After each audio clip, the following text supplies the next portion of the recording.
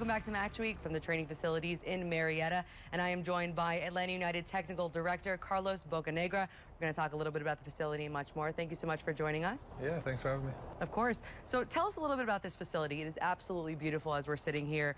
Um, tell us a little bit about some of your favorite parts of it and, and, how excited it is to finally be open. Well, first off, it's bright out here, which is great, but it's uh, no, it's, it's, very clean and, and contemporary.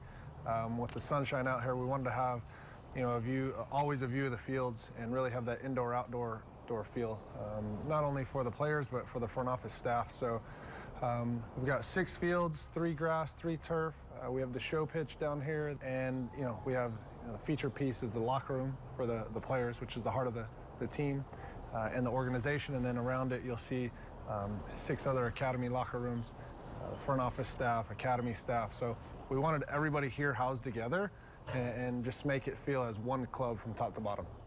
Now it's exciting finally opening the training grounds. What's next? What's the next big step for you guys? We started the season. Now we have these beautiful training facilities open. So what are you guys looking forward to next? I think one of the biggest things is having a home and, and having a home base where the guys can get comfortable and live here every day, really. Um, you know, we have this fantastic restaurant here that the guys will have food every day, breakfast and lunch, uh, before and after training.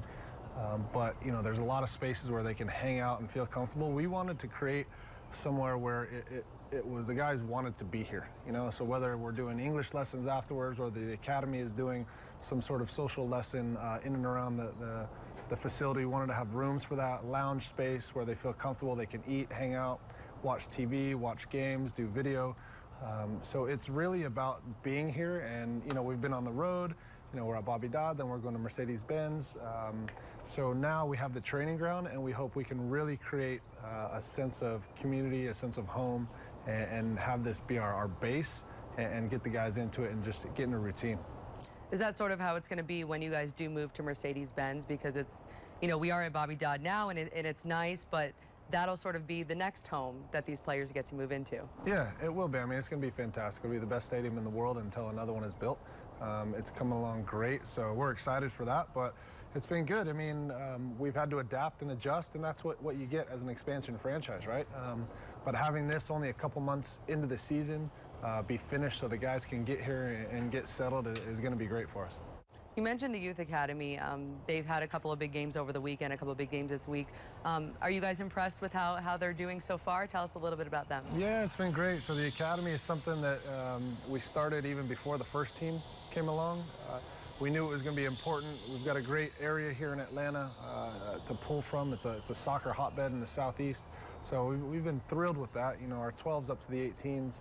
Uh, it's been a fantastic uh, uh, part of the club, and Tony Annan's doing a great job uh, leading that program uh, as our academy director.